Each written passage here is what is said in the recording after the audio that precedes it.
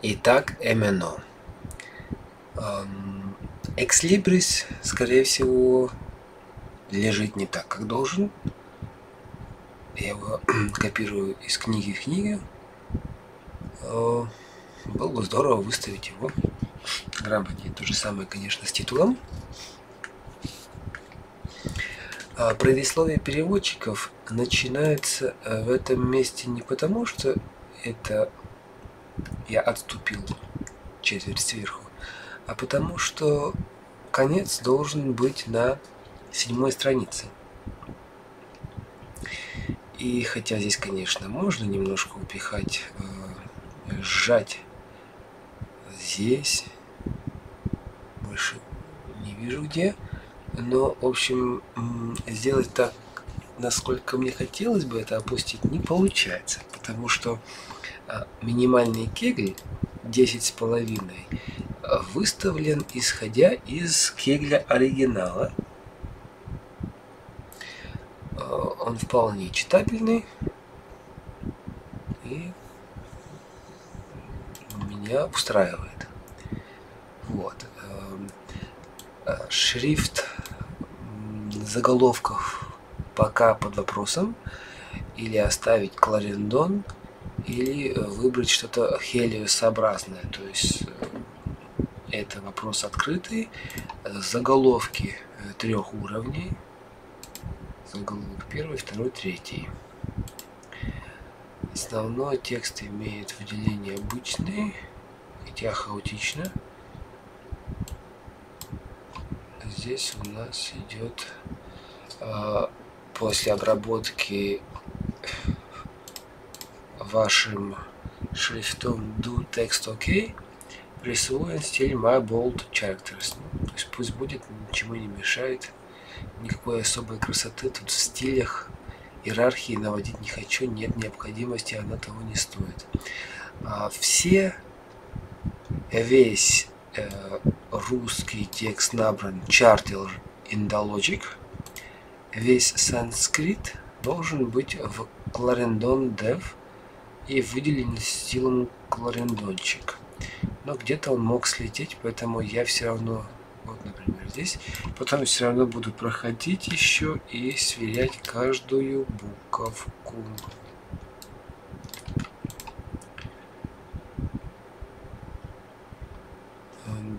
Да. Э, соответственно, что дальше? Дальше руководство по выполнению упражнений. Я бы хотел, чтобы каждый раздел имел бы отступ, но так как Enter это некрасиво, как сделать так, чтобы при этом шестой пункт красиво разделился, то есть не знаю. Сейчас получается хорошо, что он влезает весь, весь перечень шестого пункта влезает на одной странице. После добавления а, пробелов между пунктами неизбежно расползется. Но тогда надо сделать так, чтобы расползся красиво. Хотелось бы, чтобы список сокращений все же влезал на одиннадцатую страницу,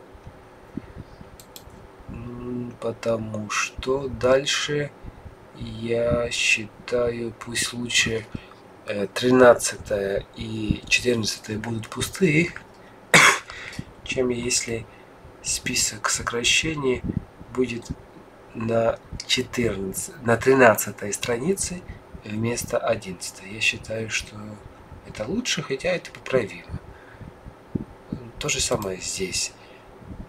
Пример надо растянуть на всю страницу, но сделать это красиво. А, тут три разные блоки. И как их разнести, я красиво не знаю. То есть здесь как бы проблема в том, как вы уже видели, что текст не доходит до конца, а соответственно должен.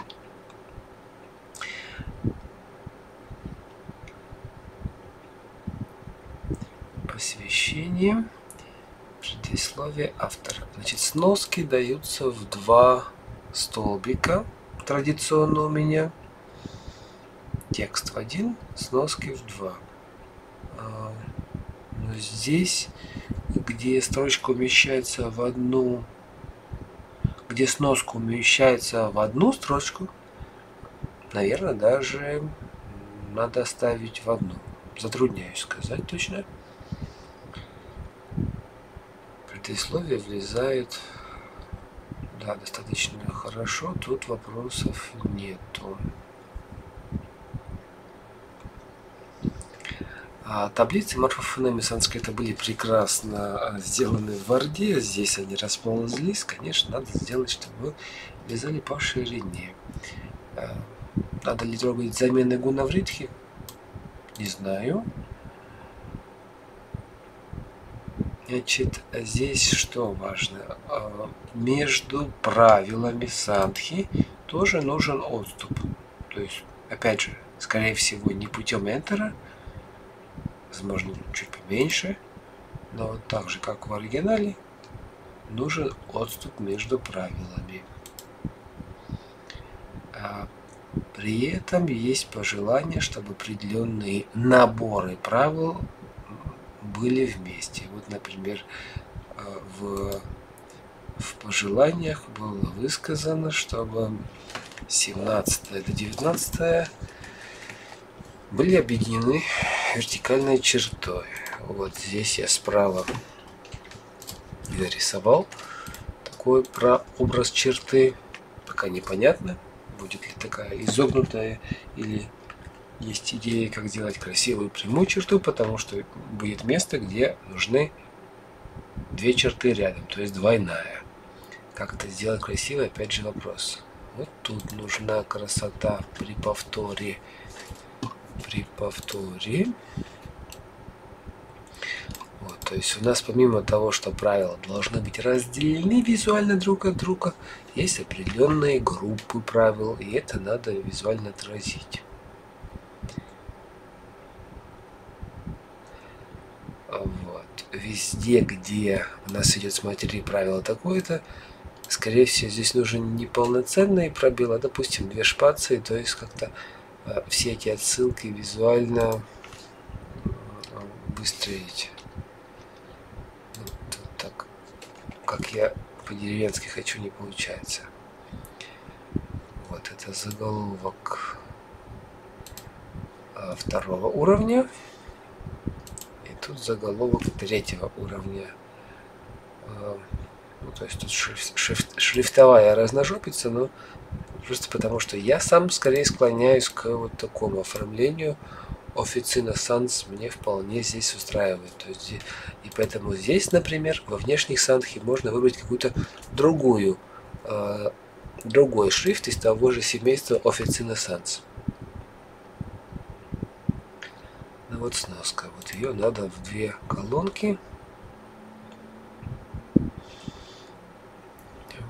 Если сделать пробелы после каждого пункта, то, собственно, они и займут отведенное количество страниц.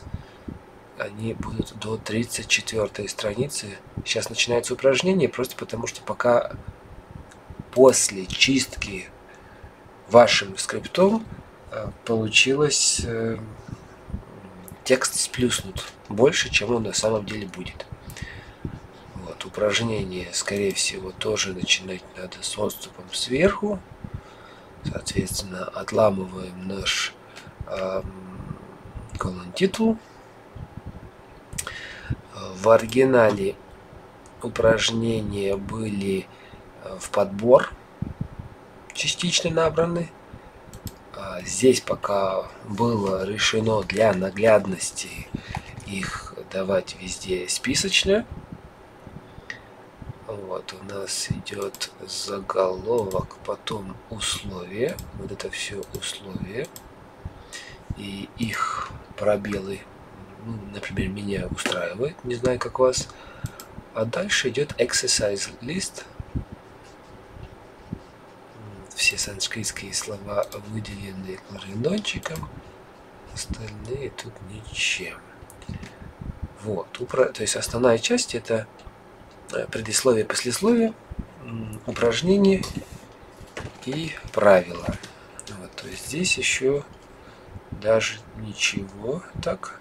Ну вот хотя, например, опять же, э, над упражнением пробел нужен побольше, а под упражнением поменьше.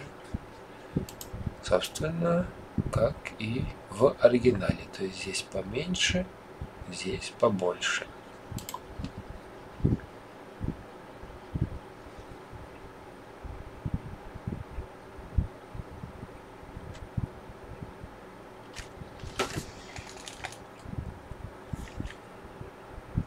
Вот, и здесь опять же правильно расставить, э, просто, значит, у нас тут есть промежуток, вот это удвоение морфологии в упражнениях, это такой, это такой подраздел,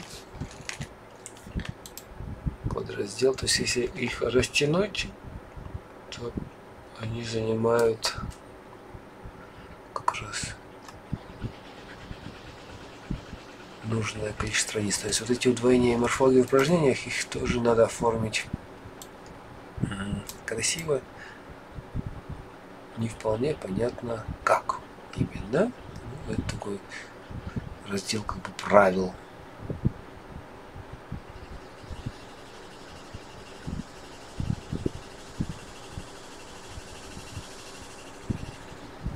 И дополнительные упражнения.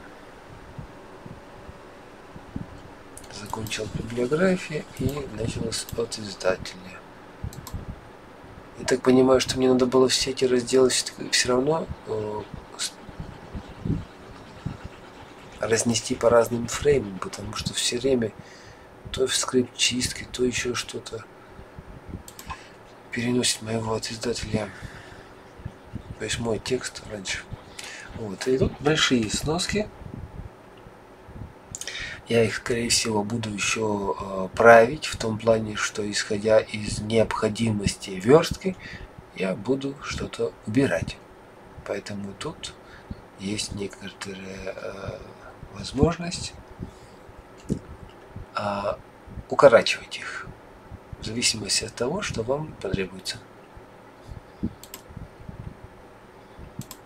С носками тут циферка и 1 это так не задумано, это рудимент из другого файла вертка, откуда была перенесена основа этой книги.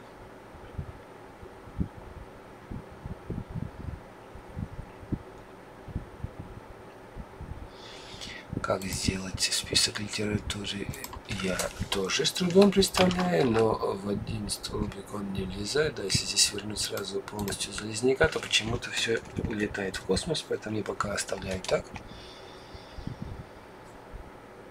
Вот. И в конце конкорданс правил Санхи. Здесь есть еще такая проблема. А, все аббревиатуры, вот они задаются здесь слева, они должны быть не шрифтом чартер, выделенным болдом, как сейчас. А в Варде они были кларендоном. Почему кларендон не перенесся, не знаю. Но, тем не менее, он нужен. Как это заменить, тоже не знаю, но уверен, что возможно. То есть кларендон регуляр, почему-то у меня шел, потому что там русская О, что ли? Кларендон, кларендон, кларендон. Так, тогда нужен кларендон индолочек, да. В общем, он нужен не болт, не болт, а нужен кларендон индологик. То есть будет отличаться просто всего начертания. Этого достаточно. Цифры остаются в чартере. Сами буквы аббревиатур в Clarendon Indulgic. То есть этого нет, это надо сделать.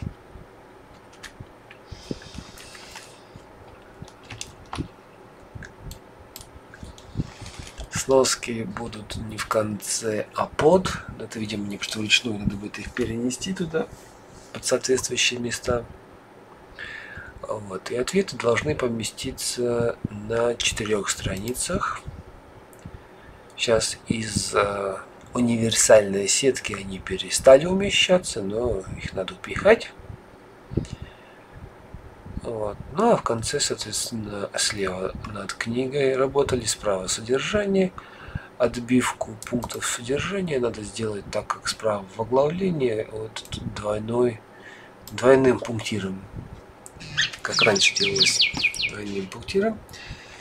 И внизу, собственно, разделитель, отделитель, который можно использовать и в других частях э, книги. А, вот, пожалуй, и все, на что хотел обратить ваше внимание. То есть, как бы оригинал печатался на печатной машинке, есть свои недостатки, но и вообще общий стиль все равно задается. Спасибо.